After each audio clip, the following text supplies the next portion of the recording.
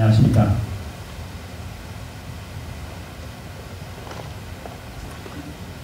협의회장 김준수입니다.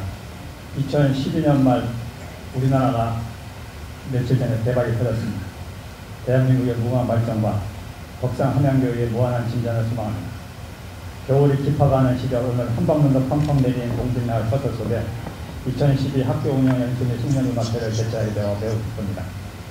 이번 송년음악회는 우주와 음악 친구들의 초청 공연으로 바리톤 우주호 성악가는 세계적인 연출자 주세페 줄리안의 추천으로 공부를 시작해 이태리 국제 콩쿠르에서 잇따라 우승하면서 유럽에서 왕성한 활동을 하고 있으며 우주와 음악 친구들은 한국 최대선 속 해외파 대학교수 솔리스트로 이루어진 남성 앙상블 팀으로 화려한 무대가 아닌 우리 주위에 등을 징고 스웨덴 이웃을 찾아가 위로하고 사랑을 나누는 공연을 실천하고 있는 국내 굴지의 일조댄스입니다.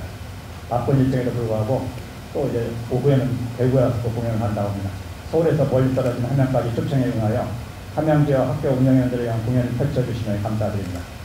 학교 운영위원회 함양지역 협의회는 함양 각급 학교 운영위원회 연합처로 건실한 학교 운영위원회 운영을 위한 힘과 지혜를 모으는 역할을 하고자 했으나 기대에 미치지 못한 면이 없지 않아 송구함을 느낍니다.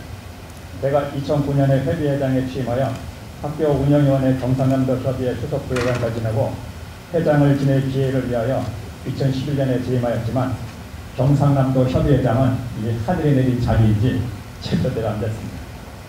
저는 지인 공약에서 학교 운영위원회 운영 우수 사례 전파를 통해 학교 운영위원회 활성화를 도모하고자 올해 우수 학교 운영위원회상을 제정하여 시상한다고 하였습니다. 그래서 올해 우수 사례를 공모하였으나 응모가 없어 그 공약을 실천하지 못하고 임기를 마치게 되어 거듭 송구함을 느낍니다.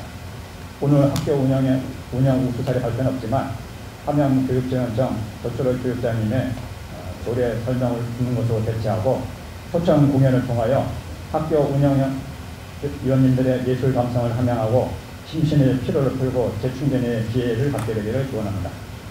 불편한 눈길을 무릅쓰고 이렇게 참석해 주신 모든 회원님께 감사의 인사를 드립니다. 한 해 마무리 잘 하시고 행복한 새해를 맞이하시기를 낭망합니다. 감사합니다.